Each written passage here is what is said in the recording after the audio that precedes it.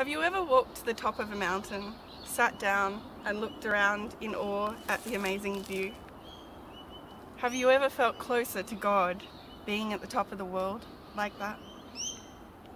These are what people call mountaintop faith experiences. Those times when you feel especially close to God. For many people, these happen most often in nature the beauty and wonder of God's creation brings us instantly close to God and gives us a sense of God's presence and spirit. This is just one of the many reasons why Christians should work to protect the environment and to reduce the amount of waste and pollution that we are contributing to the world.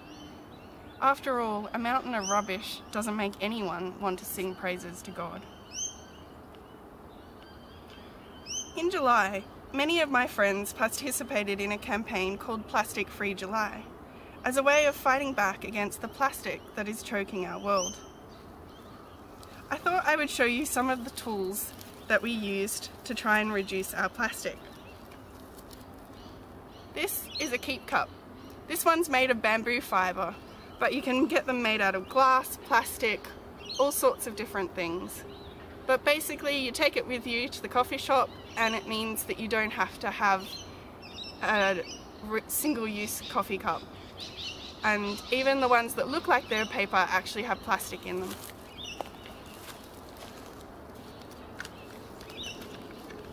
Then you've got your reusable straws. This is a bamboo one and a metal one.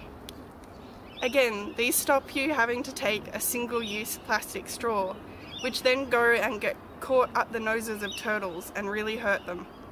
So we need to stop using plastic straws and only use straws like this. You can even have a nice little cutlery pouch like this where you can wrap up all your different plastic free items so that when you go out instead of having to get your takeaway with plastic you can have your reusable little cutlery and your straw, of course. And when you go shopping, you want to take your reusable bag. You can get them so that they're nice and fold upable like this. And your produce bags, so that you don't have to take any of the plastic bags from the supermarket. And you can also get these. This is a beeswax wrap. And the great thing about this is that it's an alternative to cling wrap.